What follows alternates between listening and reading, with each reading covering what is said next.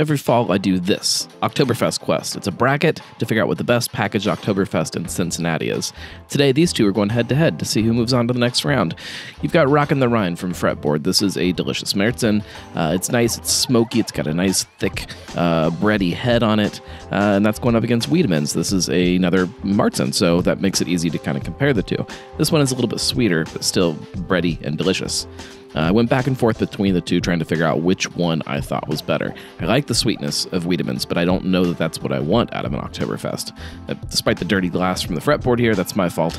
Uh, I did really like the breadiness and the toasty kind of uh, richness of that one. But it's tough because they're so close to each other. These uh, these two Märzens are both great examples of the style. Uh, just by a little tiny hair, I'm going to give it to the fretboard today, though. This one moves on to round two, where it'll go up against somebody else because that's the way a bracket works.